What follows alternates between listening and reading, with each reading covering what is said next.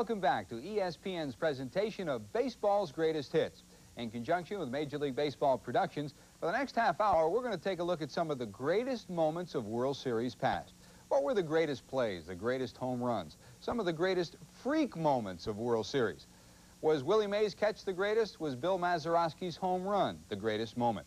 Mel Allen will join us when we return to take a look at some of baseball's World Series greatest moments.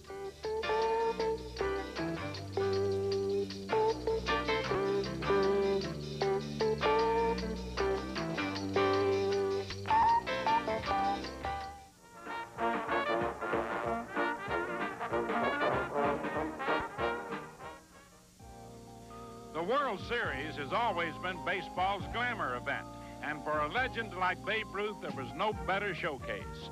Twice, the Yankee Sultan of SWAT hit three homers in a series game, but it was for one particular homer that the Babe is best remembered. It came in the 1932 series with the Cubs, and here's the Babe's account of what happened. I'll never forget it. Was a tough series. Both clubs riding each other, doing everything to get each other's goat. Well, after this one particular time when I went to bat, Charlie Root was pitching. And the first pitch ball was a call strike. Well, I thought it was outside and didn't like it very much. So the boys over there would give me this on you, on you. Well, the second pitch ball was another call strike. Well, I didn't like that one either, so I let it go by. Well, I stepped out of the box, and by that time, they were over there going crazy. Well, I looked out at center field, and I pointed. I said, I'm going to hit the next pitch ball right past the flagpole. Well, the good Lord must have been with me. There are those who were in attendance that day who claim Ruth was really pointing elsewhere and not at center field before he took his swing.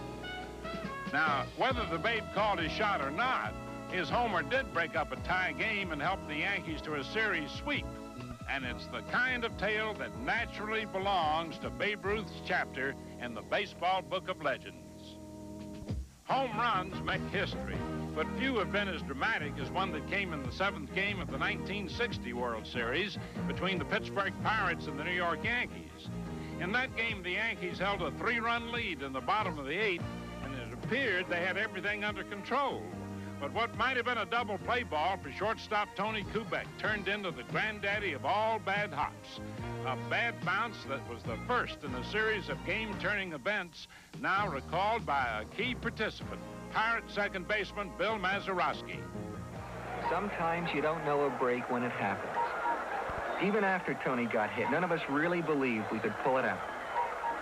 When Casey brought in a new pitcher, we talked it up. We made noises about a rally, but deep down we knew it would just about take a miracle. Then Hal Smith came up.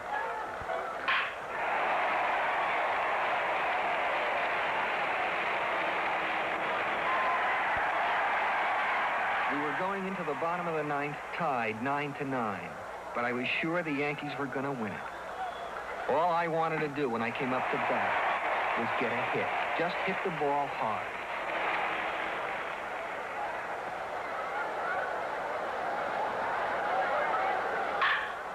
Bill Mazeroski did more than just hit the ball hard.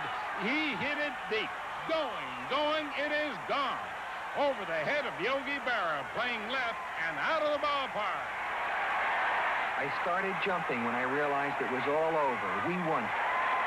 Ever since then, People who don't even know me call me the guy who hit the... Tiger went a step further as he began an awesome power display in Game 6 with a fourth-inning homer that gave the Yankees a lead they never lost.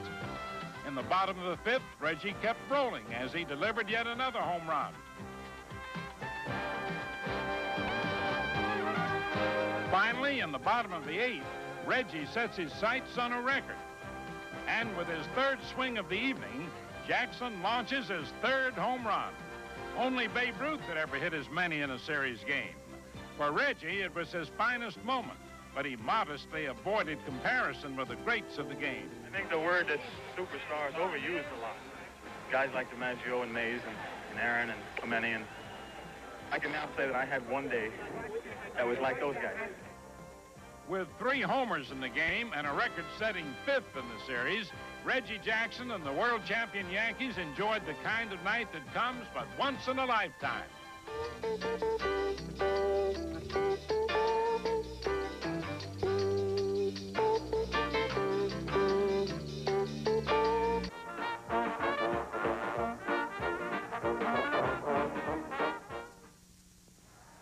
Many people think that Willie Mays' game-saving catch in the opener of the 1954 World Series was the greatest of all time, and it might well be. But there were other diamond gems from series past.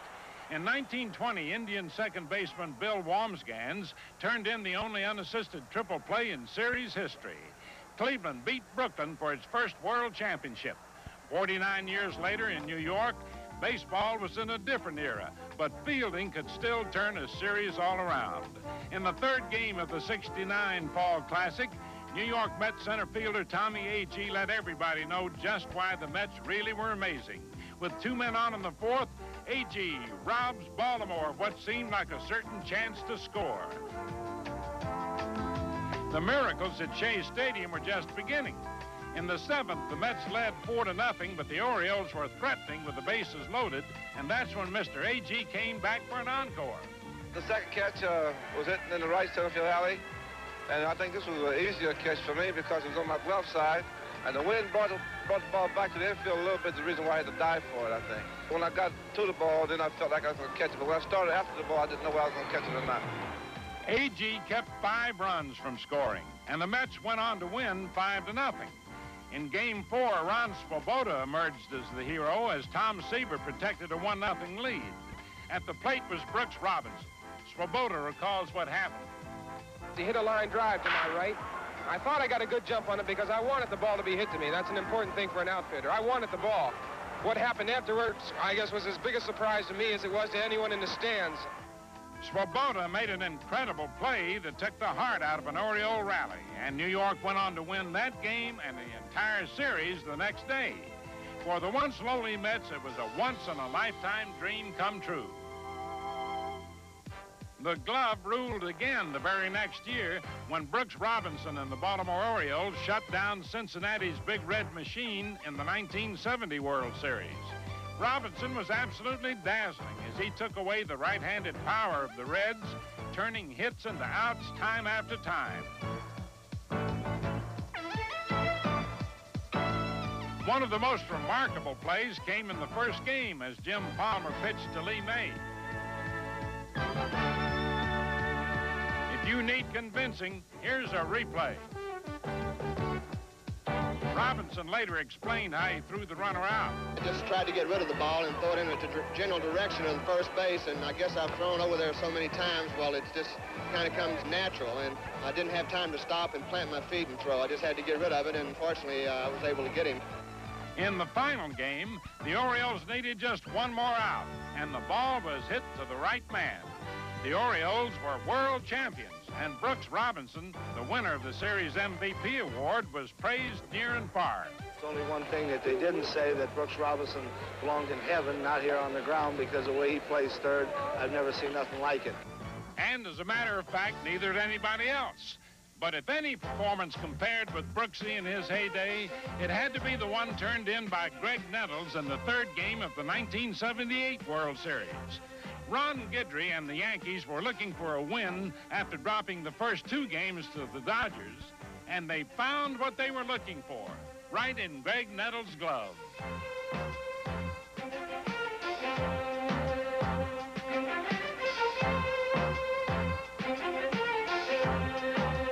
That night, Nettles made four sparkling plays. One of the most important was a beauty that came with the bases filled and two out in the fifth inning.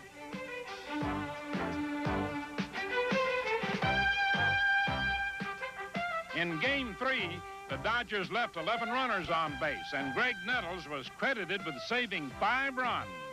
The Yankees won that game, and the next three to follow, and the 75th World Series was theirs. Most observers felt that Nettles' hot night at the hot corner had made the difference.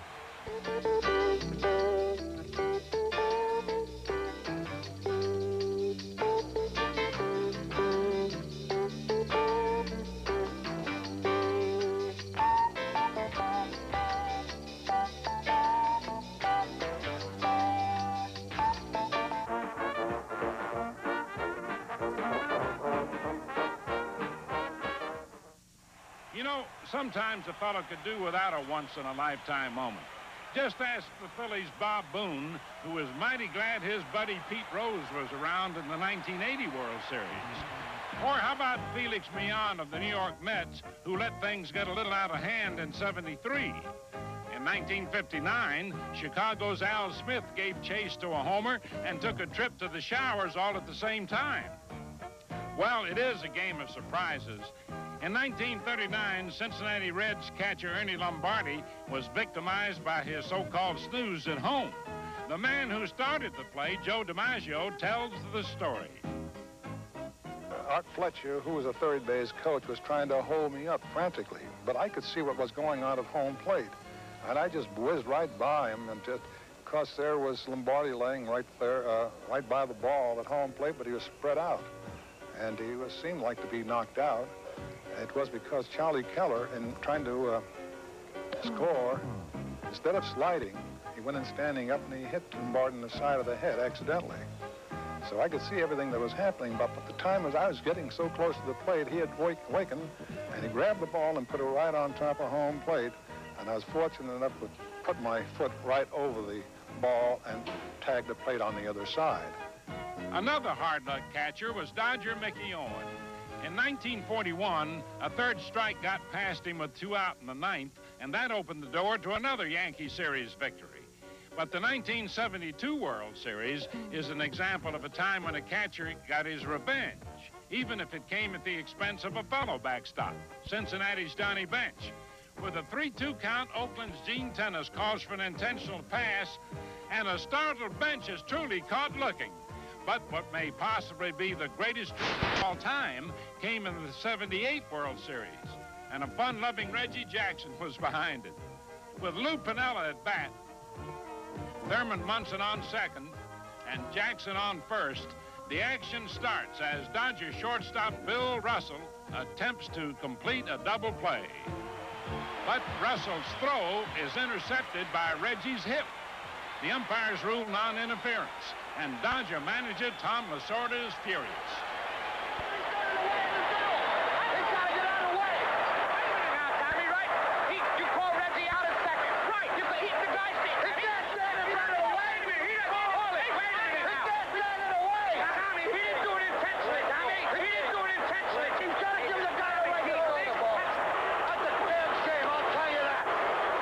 Tom Lasorda wasn't sorry that moments like these come once in a lifetime.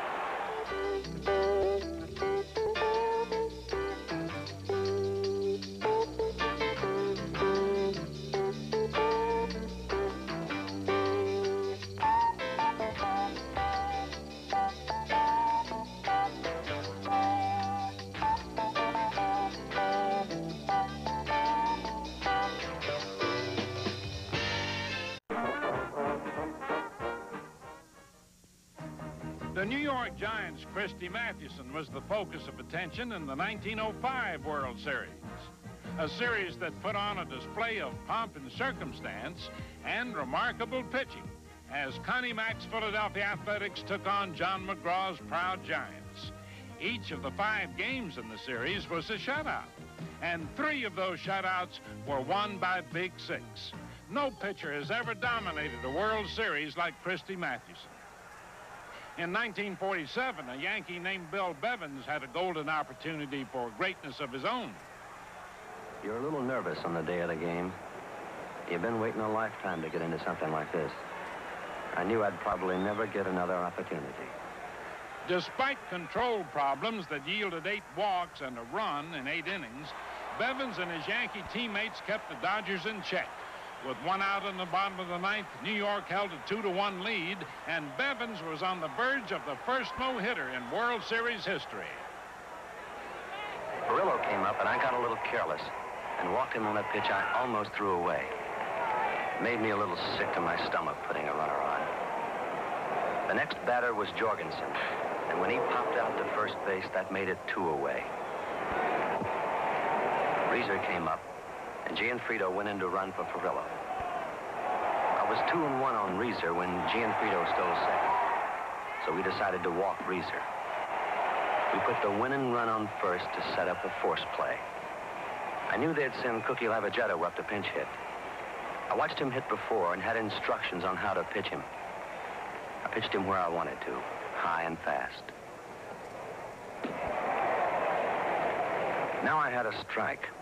I thought I'd waste a pitch, but he didn't give me a chance to go that far.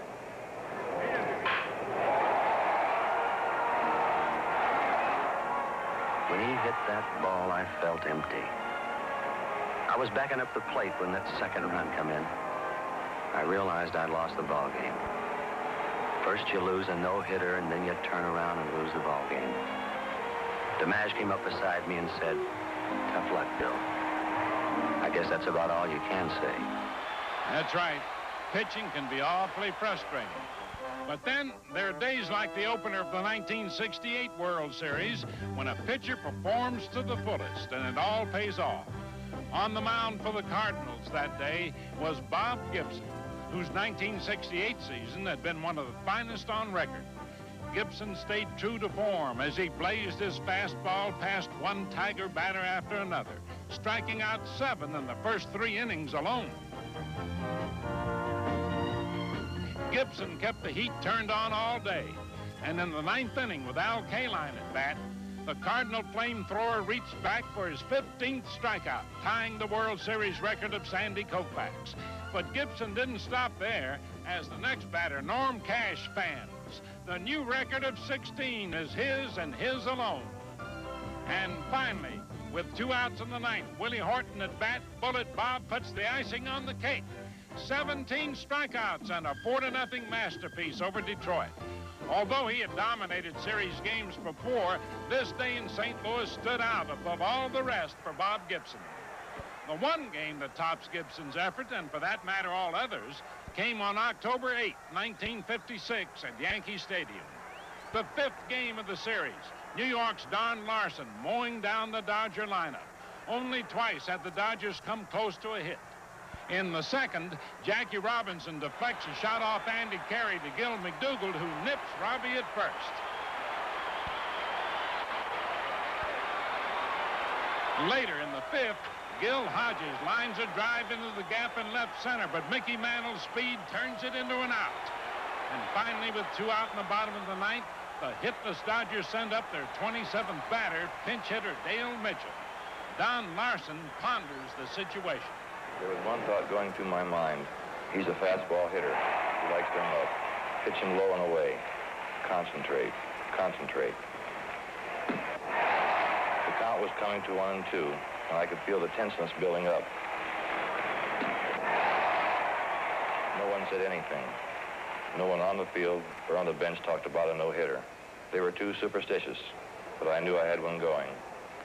Before the ninth, I had said to Mantle, wouldn't it be something if I got a no-hitter?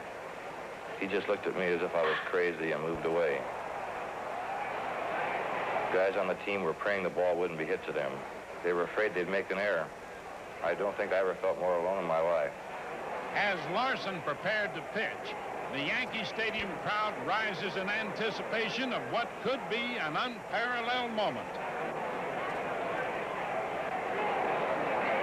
Strike three call. Don Larsen gives baseball its first perfect game in 34 years. And it was the only one ever in a World Series. All from a pitcher who won just 11 games in his best season. Larsen's mind-boggling accomplishment brought him admiration and instant celebrity. He had pitched a perfect game in a World Series. And for one glorious day unlike any other, he had been standing on top of the world. There are times when it seems like it was only yesterday that those memories rung true for us in the World Series. In conjunction with Major League Baseball Productions, this has been an ESPN presentation.